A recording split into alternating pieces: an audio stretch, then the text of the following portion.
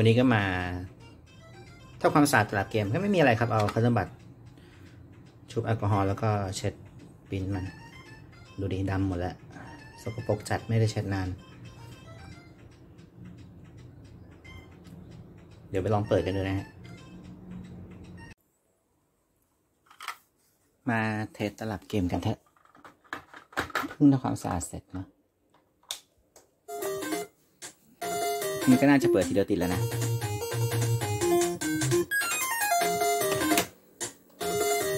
ภาคแรกของซีรีส์ที่เคยเล่นเลยฮะ ไม่รู้สึกว่าว้าวมากนะ แต่รู้สึกว่ายากมาก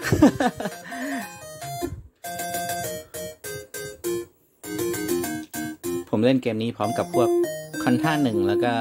Ice Climber Mighty Bomb Jack ที่ชอบสุดน่าจะเป็น Mighty Bomb Jack ครับ เล่นที่บ้านญาตินะ เห็น Famicom ครั้งแรกเลยก็คือสี่ตลับนี่แหละ ภาคนี้ลงของ Famicom เป็น Dragon Ball นะฮะ ลงของ NES เป็น Dragon Power เปลี่ยนตัวละครใหม่เป็นเด็กน้อย ใส่ชุดคาราเต้นะ ส่วนภาคหลังจากนี้ไม่มีลงของ NES ครับ มันก็เลย NES ก็เลยไม่มีเกม Dragon Ball ในเครื่อง เครื่องธรรมดาเลย มีของเครื่องซูเปอร์ ยุคนั้นเดาว่ามันคงไม่ดังครับเลยตีตลาดเขาไม่ได้ก็เลยต้องเปลี่ยนชื่อเกมใหม่ ด่านจะมีท่านี้จะลำบากหน่อย ต้องหาทางลับเพิ่มพลังครับ มันจะมีไอทงไอเทมอะไรซ่อนอยู่นะ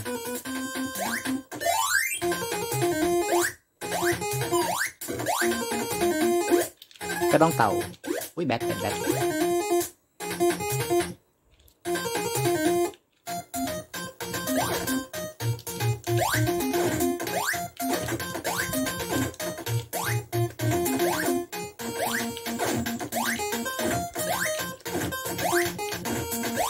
ตัวจะมีวิธีสู้อีกตัวเกม ภาคนี้น่าจะไม่ถึงพิกโกโลครับ น่าจะมีแค่ทำปรินเล่นตั้งแต่แรกตอนที่โกคูลงเขาหงอคงลงเขาไปกับบูมาใช่ไหมครับ แล้วก็ไปเจอผู้เท่าเตาเจออุลอน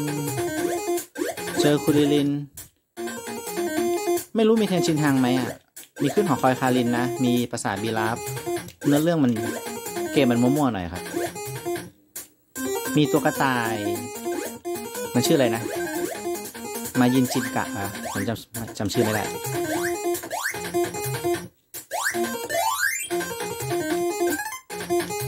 เราต้องพยายามหาทางลับให้เจอเพื่อเพิ่มพลังชีวิตครับ ไม่งั้นพลังชีวิตเราจะไม่พอนะ แล้วด่านท้ายๆยากมากๆ ตัวเกมยากมากๆครับ เป็นดวงนะครับ อย่างที่เห็นเมื่อกี้กระโดดเคาะของไปก็ไม่ได้อะไร ได้กระบอง ถ้าสุ่มไอเทมไม่ออกมาเป็นพลังชีวิตนี่ลำบาก ผมจำไม่ได้แล้วผมไม่ค่อยได้เปิดเล่นเกมมันยากสมัยเด็กเหมือนจะเล่น ผมจำได้ว่าผมเล่นจบแต่พอผมมาเล่นตอนโตโอ้โหมันมันไม่มันยากขนาดนี้ ตอนขอพรดักบอลมันจะมีข้อสามมั้งที่ขอให้ไปวัดเซาหลินวัดเดลินนะครับเราจะมีพลังชีวิต250เลยทีเดียวก็จะขอข้อนั้นก่อนนะกกนทำให้วิ่งไว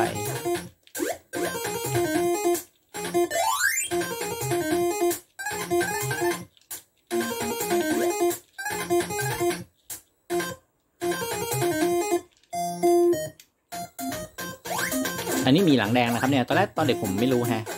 ว่ามันคือมีหลังแดงไอหมีตัวที่จับจับเต่าไปอะครับ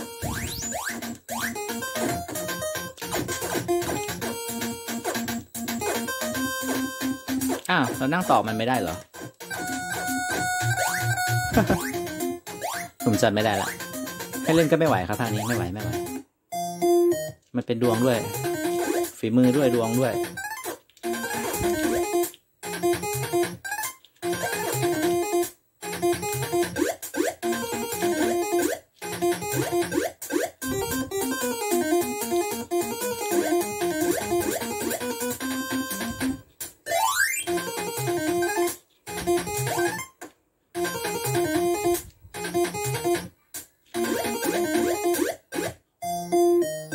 เจอเจ้าเต่า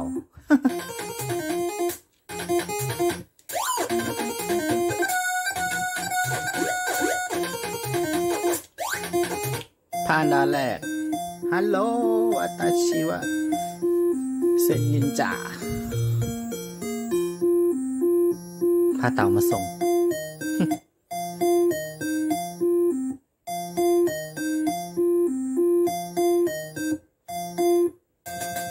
ด่านสองขบทของอุรอน เกมยากใช่ไหมประมาณนี้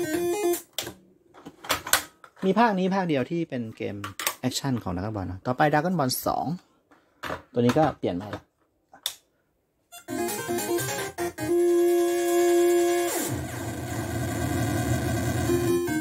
ภาคนี้โอเคเลยว้าวมาก เป็นระบบ password นะครับ เกมจะเริ่มจากบ้านเต่า บทของราชาปีศาจพิกโลคือ เนื้อเรื่องมันจะน่าต่อจากภาคแรกแหละ แต่มันเปลี่ยนระบบเกมใหม่ คุยลินถูกฆ่าตายแต่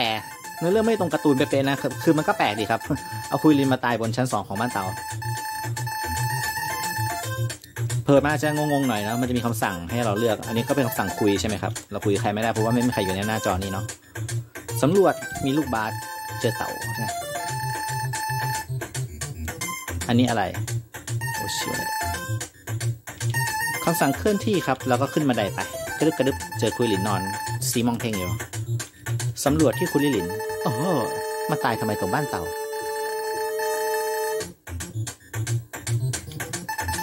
ไปซ้ายไปขวาไม่มีอะไรครับสำรวจทางซ้ายสำรวจทางขวาไม่พบสิ่งใดหรออ๋อหยิบกระบองมา เจอกระบอง ผมก็จำไม่ได้นะผมก็เล่นไปเรื่อยๆนะครับ ไปที่ประตูไปทางซ้ายไปทางขวากำลังเทสซิอ๋องั้นก็ไปทางนี้ ดูออกไหมว่าเป็นทีวี เจอ Dragon Radar หยิบ Dragon Radar มาครับสำรวจเทเลวีก็คือทีวีนั่นแหละครับ อ่าไม่มีอะไรเลยถ้าฝั่งนี้มาเป็นตัวนี้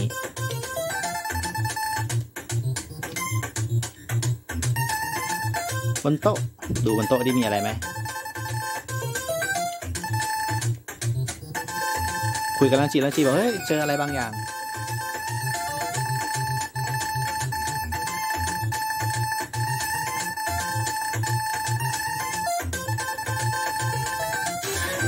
แปลกดีไหมครับพอคุยอีกก็ขึ้นมาเหมือนเดิมแทนที่ว่ามันคุยไปแล้วมันน่าจะแบบตัดเป็นประโยคอื่นไปหรือก็ไม่คุยต่ออะไรอย่างนี้นะ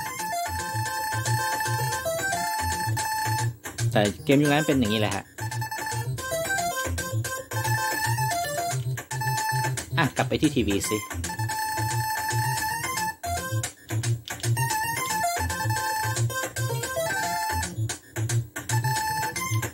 สำรวจทีวีไปก็ไม่มีอะไรเหรอเอ้ผมจะได้ว่ามันต้องมีชาของราชาปีศาจพิกโกโลขึ้นมานี่นา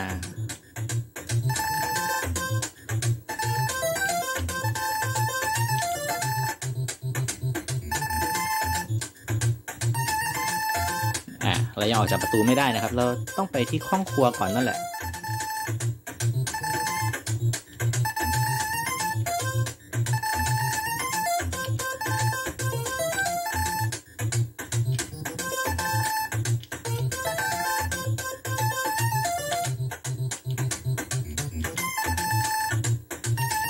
ตอนนี้ก็อยู่คาเมะเฮาเอ๊ะทำไมไม่ได้ล่ะ ผมจำได้ว่ามันสำรวจได้ไม่ใช่เหรอ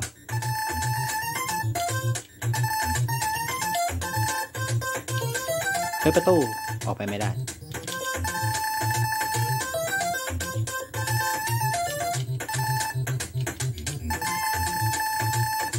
อ๋อ ยังไม่ได้เจอผูเต่าตรงนี้เหรอ ใช้แล้วก็เลยบ้า ใช้กระบองไร้ผลใดทั้งสิ้น จริงๆ มันไม่ต้องใช้อะไรนะ อ่าออกมาได้ละ ก็ให้เต่าพี่เต่าเขาสั่นกันนะ เมื่อกี้เราไม่ได้คุยกับพี่เต่านะ เจอทำปลาลิน คุยก่อนจึ๊กจึ๊กจึ๊กจึ๊กจึ๊กแล้วก็สู้กับมัน ภาคนี้จะจบที่พิกโกโลนะครับเนื้อเรื่องไม่ตรงตามการ์ตูนเลยเนื้อเรื่องมันเลี้ยงมั่วมากอะ่ะ เราจะทำบาลินเสร็จแล้วเราก็จะไปไปเจอพวกกองทัพเรลิบบอน ไปโรงเรียนอูรอนโรงเรียนประถมของอูรอนอะไรฮะเนื้อเรื่องไม่เป๊ะเลยมั่วไปหน่อย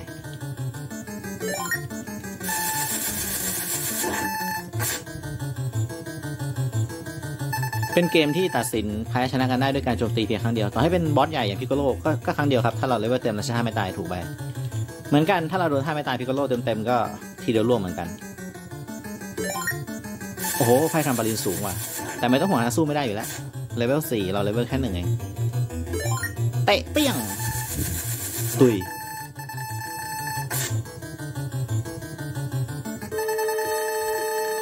ตอนเด็กกว่าเจาะมาตัวนี้ได้นานมากๆเลยฮะ เล่นจนงง ก็เป็นภาคที่สนุกครับ แต่ว่าค่อนข้างง่ายไปหน่อยนึงนะ ถ้าเราเข้าใจระบบแล้วก็ง่ายแหละ ผมเปิดทีละตลับเลยเนาะไหนๆก็ เช็คหมดทุกตลับแล้ว แล้วมาสามครับ โกคูเดนภานี้ชอบมาก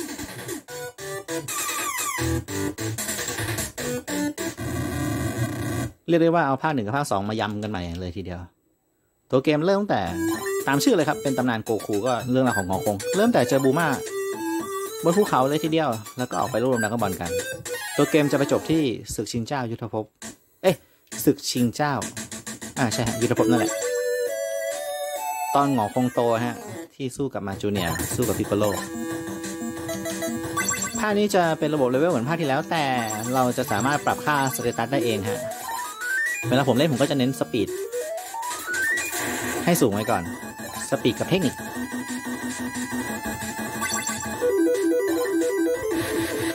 ฉากสู้ทำดีกว่าภาคที่แล้ว แต่มันไม่ค่อยต่อเนื่องกันฮะ แต่รวมๆแล้วคือ โอเคนะ สนุกมาก เป็นภาคที่สนุกมาก ๆ เลยครับ จังเข็นขาไม้ตาย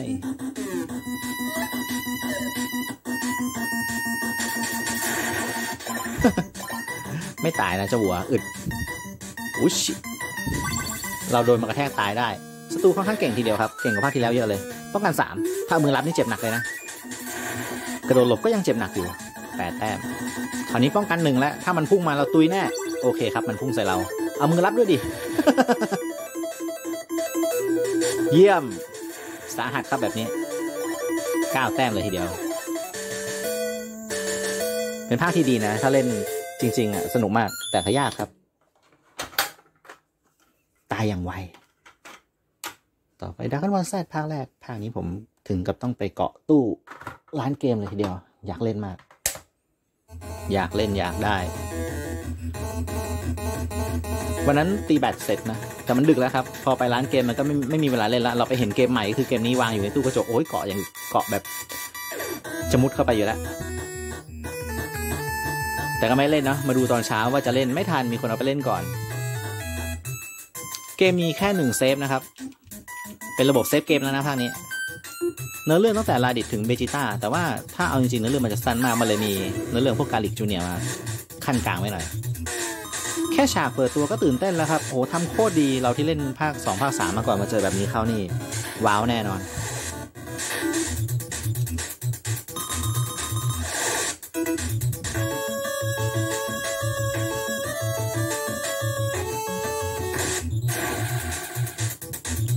มันเป็นภาคที่ทำหน้าตัวละครได้ดีมากเลยนะ ผมชอบตัวพวกกราฟิกหน้าตาของภาคนี้มากเลยแซดสองผมยังไม่ค่อยชอบเท่าไหร่นะกราฟิกหน้าตาแต่ภาคนี้ทำโอเคมาก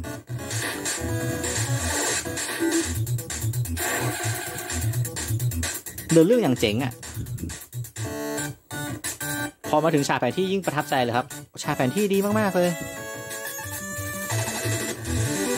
ไอ้ระบบเดินตัวติดกันเนี่ยตอนแรกไม่รู้นะเราเดินแยกกันแล้วมันก็สู้ทีละตัวฮะ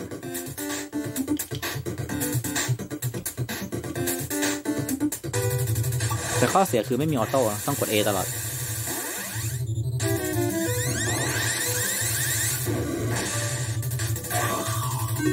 อ้าว ตุยซะแล้ว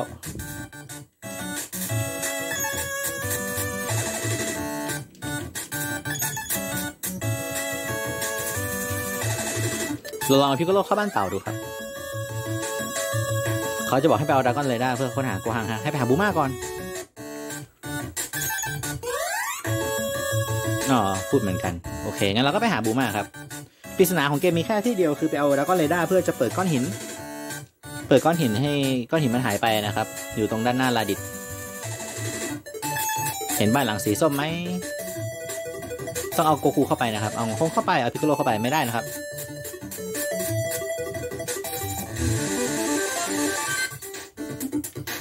ไพ่เจ้าพิภพไพ่ปีศาจโอ้ศัตรูก็ใช้ไพ่ต่างดาวเหมือนกัน เป็นภาคที่มีระบบไพ่สำนักครับ ถ้าใช้ไพ่สำนักตรงตัวเมื่อไหร่พลังโจมตีจะเพิ่มขึ้น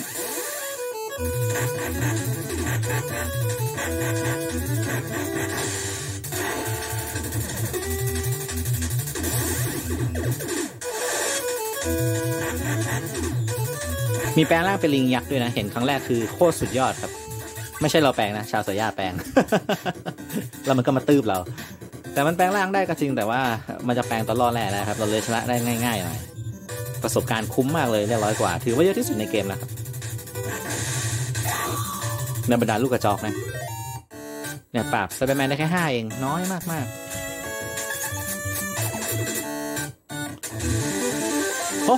ฉันจะเดินไปบ้านนู้น ศัตรูมาอย่างทีฉากปล่อยพลังของภาคนี้ก็ทำได้โอเคมากเลย ผมว่าดีอะ หันด้านหน้ามาฉากเร่งพลังฉากอะไรพวกนี้สุดยอดอวยเยอะหน่อยนะเป็นภาคที่ชอบครับขอโทษที ใครชอบภาคอื่นก็อวยภาคอื่นไปแล้วกัน ผมชอบภาคนี้ผมก็อวยภาคนี้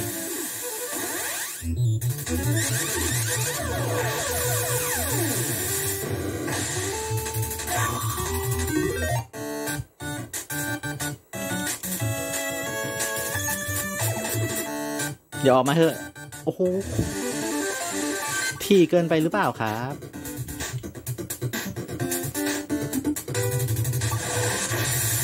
ต้องการเจ็ดเลยเหรอต่ต่อสู้สามร้อยกว่ามั้งตัวนี้สามร้อยห้าสิบ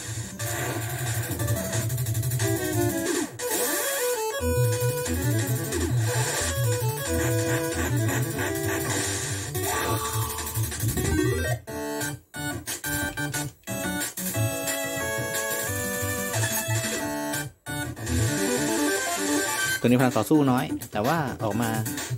ทำแมวอะไรล่ะ ฉันจะเดินป้องกันสี่โจมตีสองไพ่สำนัก บวกไปสามแต้ม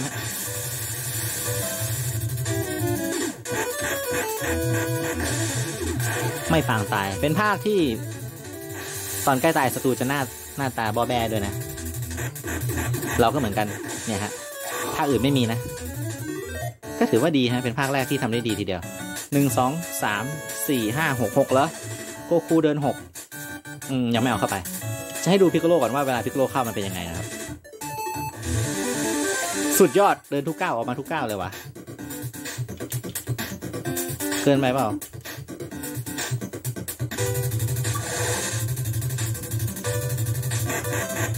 ทีเดียวตายลงไปซะป้องกันแค่หนึ่งเอง อย่าอยู่เลย พิกโกโลอัดมัน โอ้โหป้องกันแซด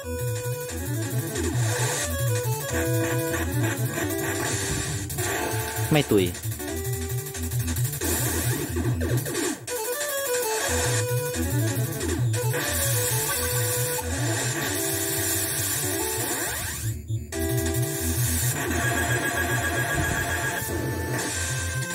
มันไม่ได้ชื่อไซแบร์แมนเนาะ มันก็มีชื่ออื่นเนาะตัวนี้ ตัวนี้จะตุยแล้ว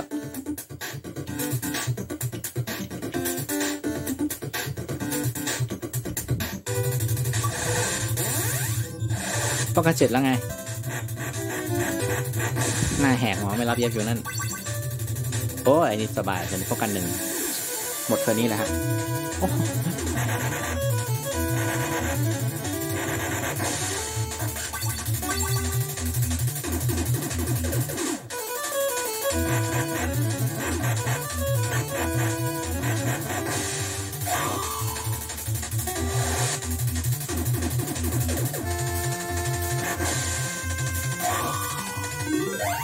ได้มิสเตอร์โปโปมาหนึ่งสองสามสี่ห้าหกหกเดี๋ยวใช้พิกโกโลเดินเข้าไปทั้งหกแต้มนี่บ้านของบูมานะฮะ มาเอาดักก็เลยได้ แต่ว่าพิกโกโลจะเอาไม่ได้นะครับ พิกพิกโกโลอ้าก็หนีไปแล้วหนึ่งสองสามสี่สี่ช่องถ้าเป็นโกคูเข้าไปก็จะได้แล้วก็เลยได้มาอะเดี๋ยวให้ดูช่อง item ก่อน ช่อง item ช่อง item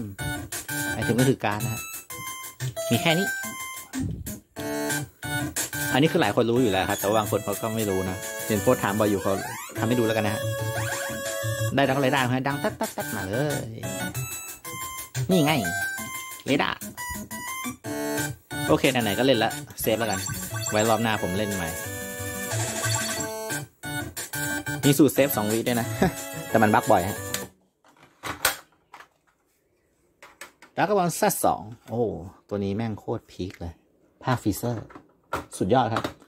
อยากได้มากแต่ตอนเด็กไม่ได้นะ ต้องไปนั่งดูเพื่อนเล่นเอา ต้องไปดูเพื่อนเล่นที่บ้าน ไม่มีวาสนาได้ครอบครองครับ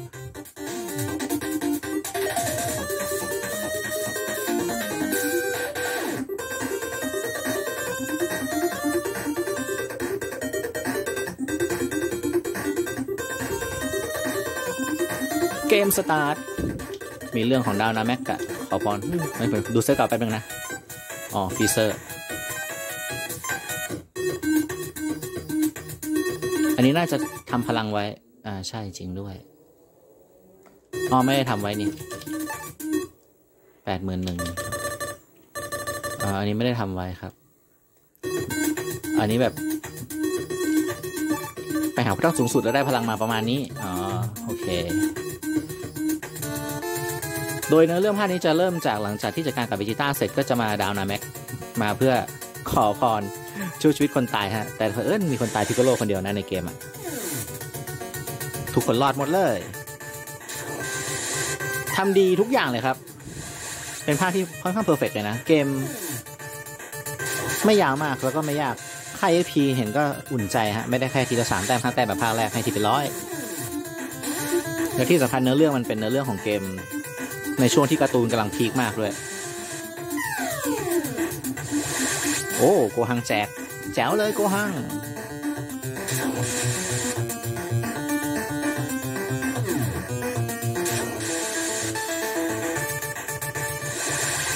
ห้องซาบอนแจกคืนกลัวน้อยใจเหรอ มันสู้กันนานไปนิดนึง ตัวเซฟแรกผมน่าจะบักแน่ ๆ เลย อ๋อกำลังมุ่งหน้าสู่ดาวนาแม็กนี่ว่า โอเค ตอนนี้ก็เป็นตอนเริ่มเกมเลยครับภานี้ถ้าเล่นใหม่ๆ เลือกสามแต้มแล้วก็จะเดินสามแต้มนะ เราไม่รู้ใช่ไหมฮะ จริงๆ มันคือมันเดินกี่แต้มก็ได้ ผมก็เพิ่งมารู้แบบทีหลัง ตอนเด็กเอ๊เดินสามแต้ม เดินสามแต้ม เดินเสร็จก็จะเลือกการ มากันครบทีมอ้าวตัวแรกก็ไม่สู้กับเราซะแล้วภาคนี้เริ่มต้นมา อ๋อ ผมทำเซฟมาแล้ว ผมทำเซฟจากตัวขอพร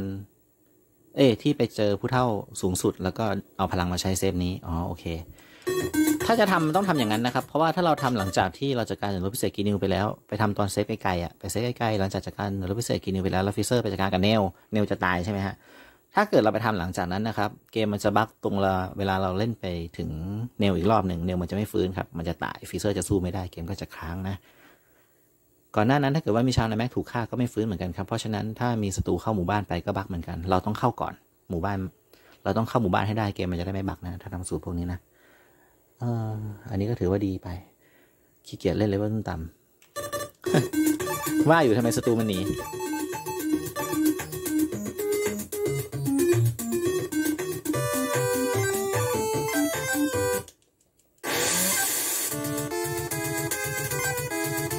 ขอดูไอเทมหน่อยสิ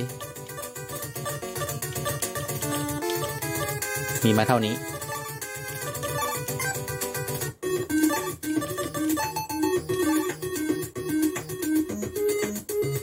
เป็นภาคที่ใช้เวลาเดินพอสมควรเหมือนกันนะ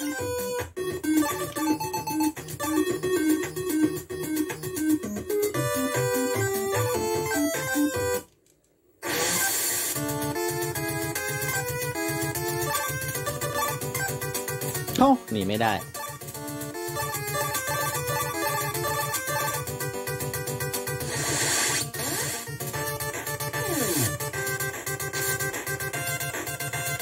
ชาตินี้ผมภาคนี้ผมไม่ชอบอย่างเดียว ลูกพลัง เวลายิงลูกพลังไปแล้วแบบศัตรูมันแข็งแกร่งมาก พลังเรามันจะระเบิดเป็นจุดเล็กๆเงี้ย มันดูแบบ อืม อะไรวะ ถ้าพลังเราเยอะกว่ามันก็จะระเบิดปุ๊บอย่างเงี้ยฮะ แต่ถ้าแบบบอบบางมากๆก็นะ จะขึ้นไปจุดเลี้ยงแทงแล้วอีกอย่างหนึ่งคือค่า status เชื่อไม่ค่อยได้ฮะศัตรูเหมือนค่า status มันน้อยกว่าเราแต่พอสู้จริงๆอ้าวสูสีซะงั้น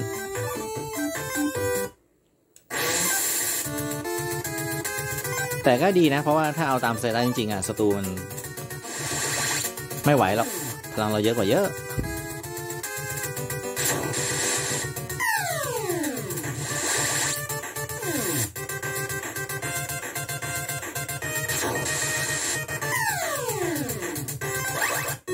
แม่เท่ามา เจอเรือลำบากเนี่ยเข้าไปไหมค่ะเข้าไปดูสิเฮ้ยนายเป็นลูกน้องฟิเซอร์ไหมใช่ใช่ใช่นี่แน่โดนบีมบีมกันยิงเลย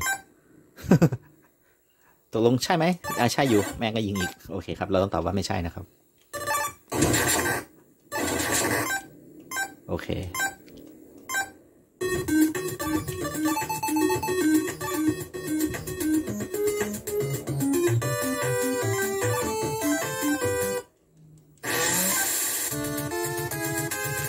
มาสี่ตัวเลยทีเดียว แต่ไม่อยากสู้อะอย่างนี้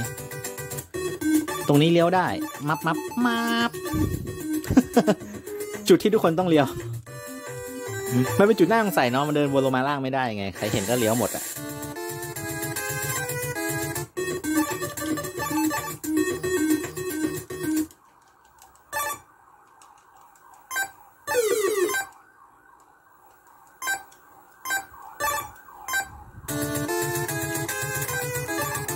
ดูซินายจะดรอปอะไร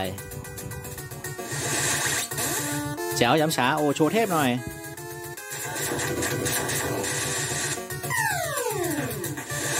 เอ้ายังได้ตีฉันอยู่ อ่ายิงเอเนจีมา ดูครับพลังเราเยอะกว่า อ่าหลบได้เวกัน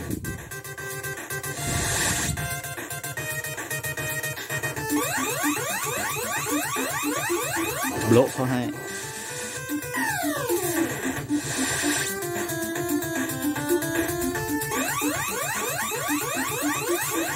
โบะเขาให้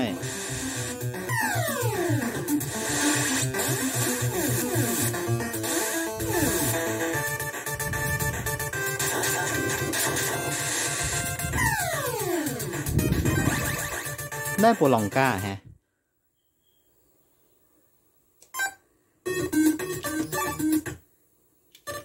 ได้โปรลองก้าอีกตัวหนึ่ง อืม ขอพรสามข้อลองกดใช้ไหมมักเขาให้ ขออะไรได้บ้าง เซนซูเอมมาไม่เท่าจิชิอูรอนแย่จังเลยอะเซฟกบเราต้องเปิดการเอาหรือจำไม่ได้แล้วฮะ แล้วก็บอลแซสามท่านี้ก็พีคมาก จบโคตรไวหมายถึงเล่นจบอย่างไวฮะ วันเดียวจบเลยเดียวเหมือน Z สองเลยภาคเนี้ยมีภาคหนึ่งใช้เวลาเล่นเยอะ เป็นภาคที่ สนุกมากครับ ฉากสู้มันมากเลย เนื้อเรื่องต่อจากภาค Z สองก็คือสู้กับฟีเซอร์ โดยพี่โกคูเป็นซูเปอร์ไซย่าไปจบที่มนุษย์เปลี่ยนแปลงนะครับ มันมีสู้เซลล์แป๊บนึงอะ่ะ แล้วก็เท่านั้นแหละ อย่างที่รู้ๆกัน น่าเสียดายที่ไม่มี Z สี่นะฮะ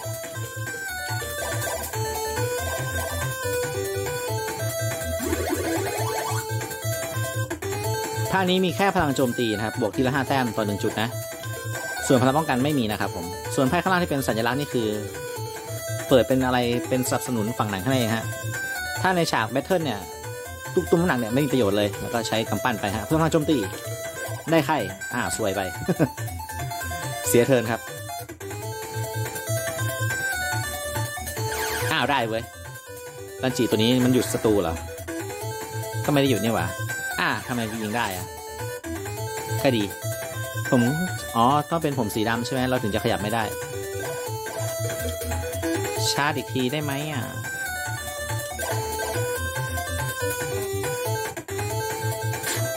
อย่าเล่นกับฟรีเซอร์นานๆ เนี่ย ต้องเป็นสีดำสินะ อ่า เราหยุดหนึ่ง turn ครับ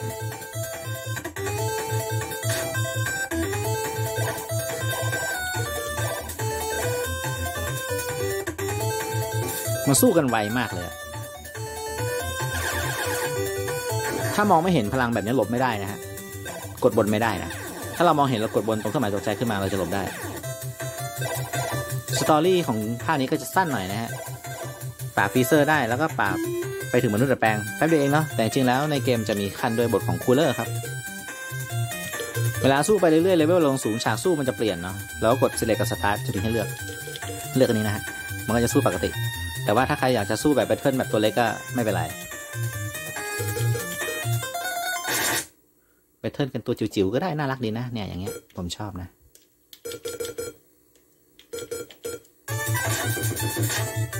แต่มันแย่ตรงที่ไม่มีพลังให้ดูเลยไม่รู้ว่าใครเหลือพลังเท่าไหร่อะไรยังไง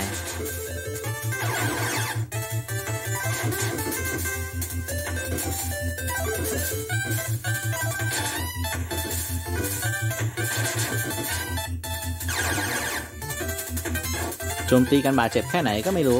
โดนลุมแล้วนักสู้แซดจัว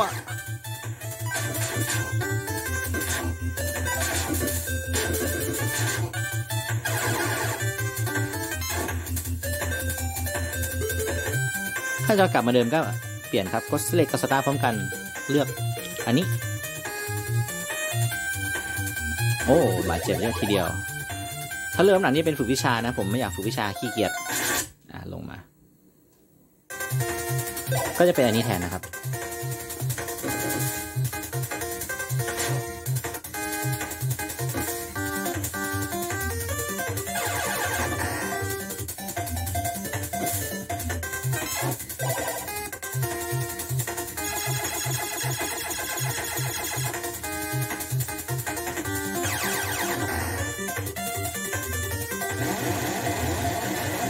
ดนตรีมันเราใจดีเหมือนกันนะ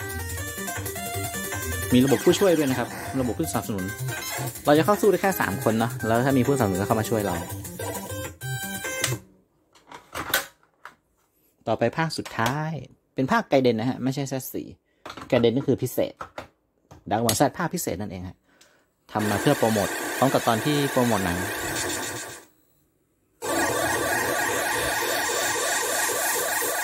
ก็เลยงงว่าพอออกตัวนี้แล้วไงแซสซีมันไม่ออกมาวะ ท่านี้ก็สนุกครับ แต่ว่าระบบเปลี่ยนไปทั้งหมดเลย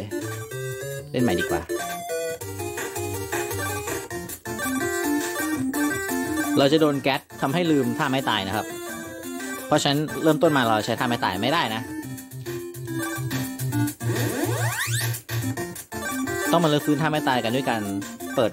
คัมภีร์หรือว่าดาวสุ่ม แล้วก็เลี้ยงไพ่เอานะฮะ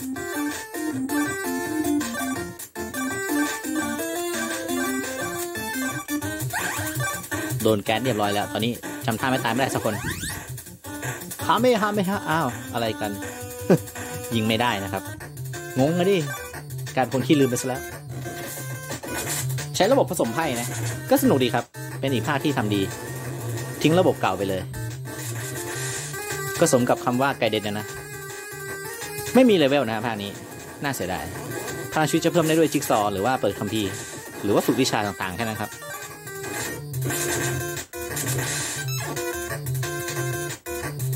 ไม่ได้เพิ่มทุกตัวด้วยนะ ตัวไหนฝึกดึงได้ ตัวไหนฝึกได้ ตัวไหนดึงคัมภีร์ได้ก็คือตัวนั้นได้ไปครับ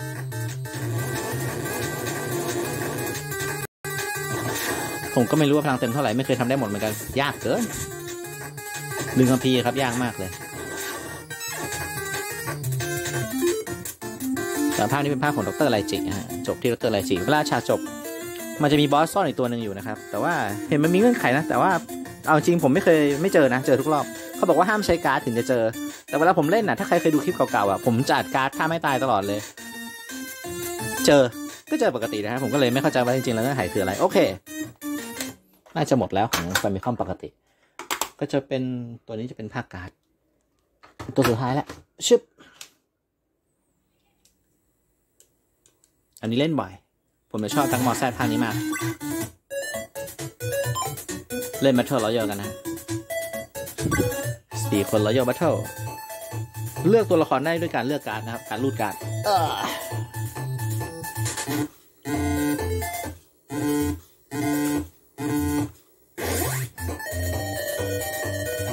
เกมปรับได้3เลเวลนะฮะ อันนี้เมื่อกี้ลืมปรับก็เล่นเป็นเลเวลหนึ่งไปแล้วกันนะ ส่วนศัตรูถ้าเราไม่รูดการ์ดเป็นเพื่อนเราแล้วก็ กด B ไปครับ เดี๋ยวเขาเลือกเข้ามาเอง โอ้ลาดิดเก่งเหมือนกันเนี่ยให้พี่หกคน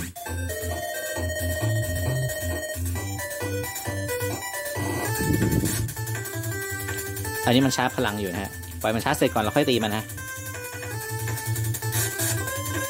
มันเป็นบาเรีย แต่ยิ่งใช้ท่าไม่ตายพลังยุทธจะยิ่งลดลงนะฮะ ขอชนทีหนึ่งแมทเทอร์รอยนี่เจอกันหมด ผมโดนไปแค่พันสองเองมันโดนไปสามหมื่นเลยทีเดียวพลังป้องกันตกลงเวลาโดนตีก็จะเสียมากขึ้นฮะ DP คือพลังป้องกันนะฮะ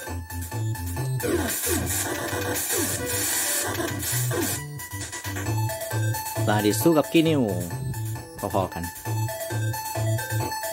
อ้าวกินิวมาตีกับเราต่ออยากตายเลย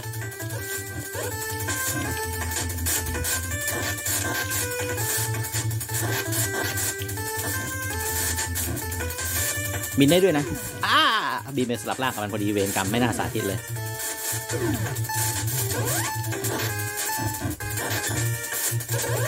แพ้แล้วเรา โดนหมัดใจพบเข้าไปครับ โดนหมัดไคโอ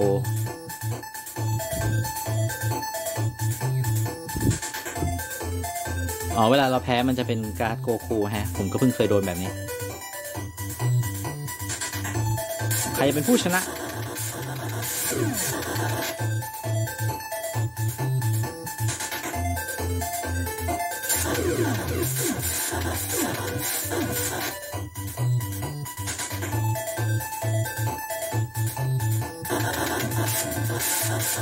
สิบเจ็ดตุยแง่ๆเลยวะ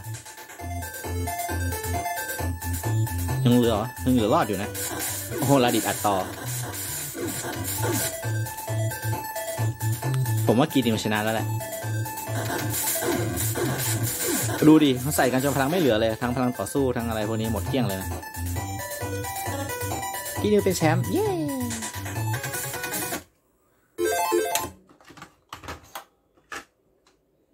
มตลับกอบตลับแฮกตลับแฮกยังเหลืออีกตลับหนึ่งเมื่อกี้เพิ่งแจกไปตอน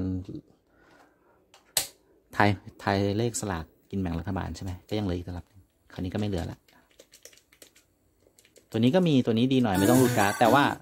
ต้องมาจำการ์ดเอาเองนะ ว่าใครกดอะไรกดสิเลกครับ มับจอมันจะกระพริบทีหนึ่งกดล่าง แต่เราต้องรู้ว่าระดับตัวละครอยู่ที่เท่าไหร่นะ ถ้าเกิดกดบนมันก็จะไปเป็นโซนไอเทมแทน มันจะมีการ์ดแบบงานกล่องที่มาจากตัวตอนตอนตอนซื้อเกมนะครับ จะมีเท่านั้นแหละจะไม่มีพวกตัวดีๆ โอเคครับ ขอบคุณครับ